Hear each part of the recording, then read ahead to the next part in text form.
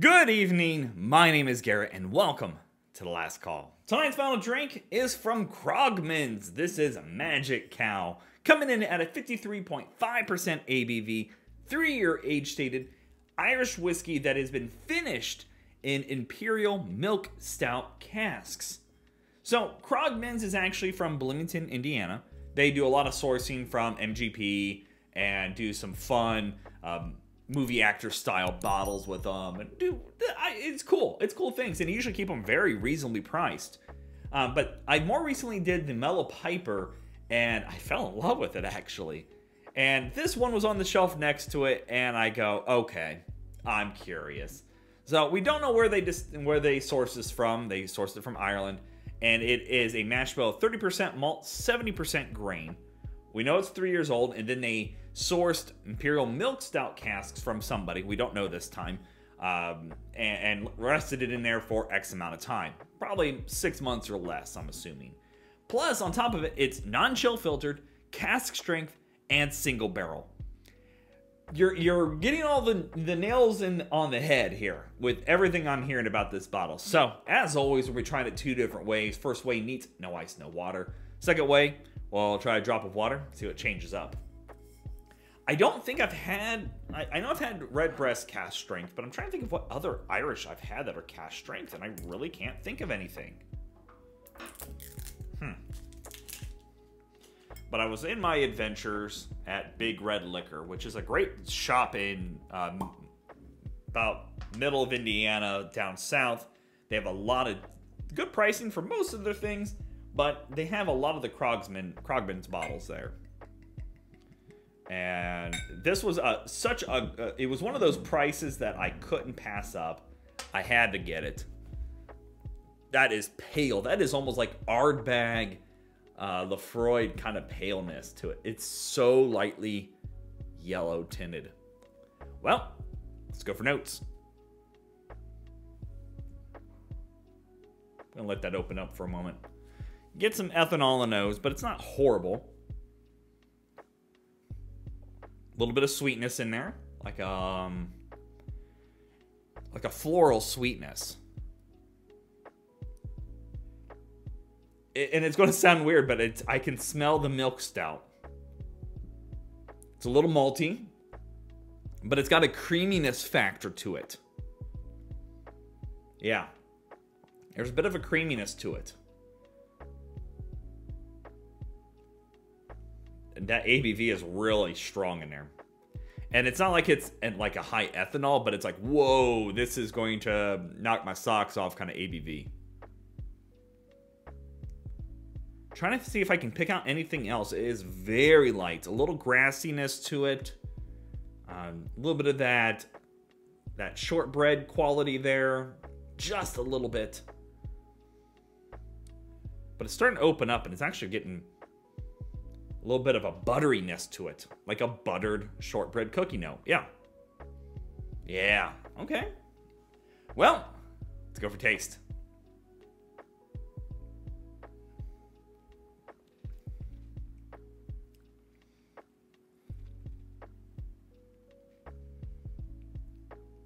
That's interesting.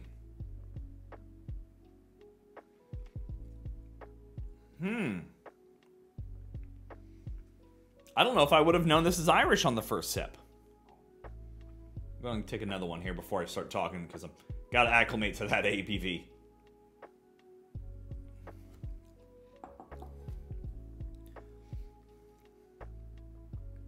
It's teetering on the taste of young. Like, part of me goes, it tastes a little young, but the other part of me goes, no, I don't think it is. There is a quality to this that I'm trying to put my finger on and it's going to drive me nuts because I feel like I'm going to sit here and drink the bottle to try to figure out what I want to talk about because there is something there that I, my keeps fleeting my mind.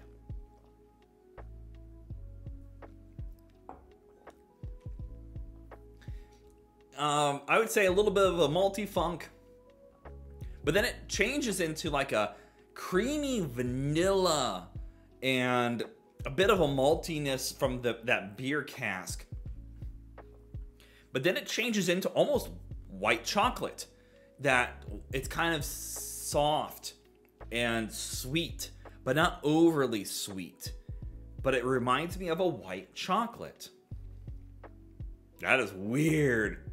I'm digging that.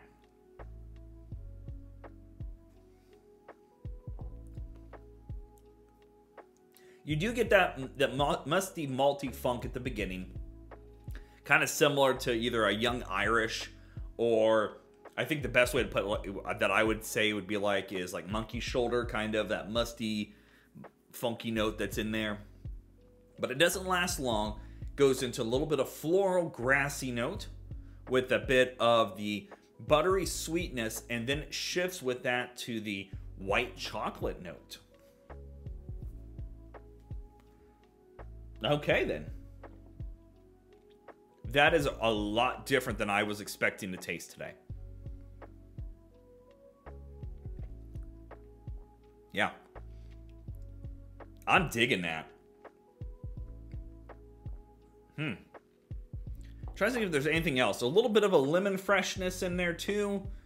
Like a citrus lemon freshness right in the mid palate. But the finish really surprised me. It's like a a lightly sweetened white chocolate. I like that. That's actually pretty solid.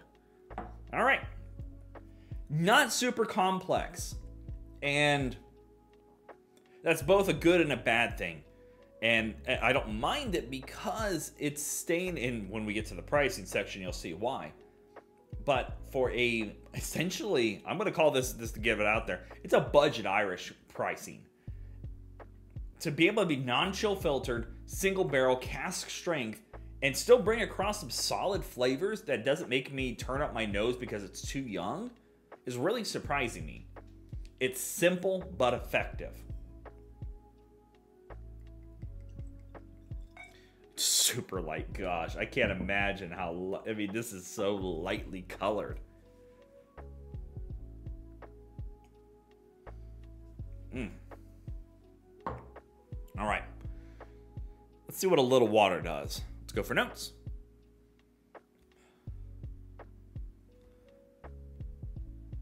ABV does kick up a little bit on there. Still get that um, bit of grassy sharpness. A little bit of vanilla. I'm getting a little bit of that, not getting quite as much of the butteriness that I was getting prior. It's still there, but not really as strong. Not bad though. Let's go for taste.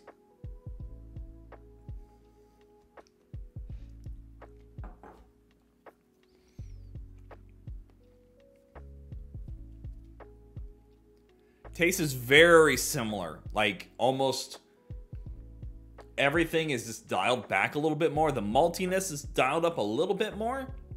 So that young grain note that we were getting prior is dialed up just a little bit more. The maltiness is dialed up a little bit more, but everything else is there and it's dialed back. So you still get that bit of creamy vanilla going on, that bit of white chocolate. It's got that bit of, ah, there is something else in there and I just can't put my finger on it.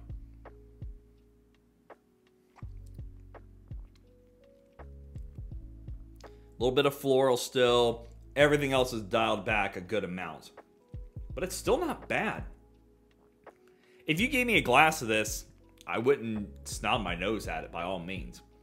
The neat version I think is a little bit better, but the water version isn't bad at all. It's a little easier to sip on, but I definitely recommend both ways just to give it a try. All right, let's talk about market price because we all know market price is market price and it's always going to vary. I picked this up from Big Red Liquor, again, that kind of in middle of Indiana down south.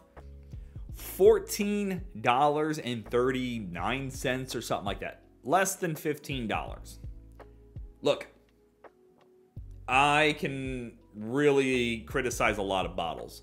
I have paid uh, different amounts for so many different things in my life.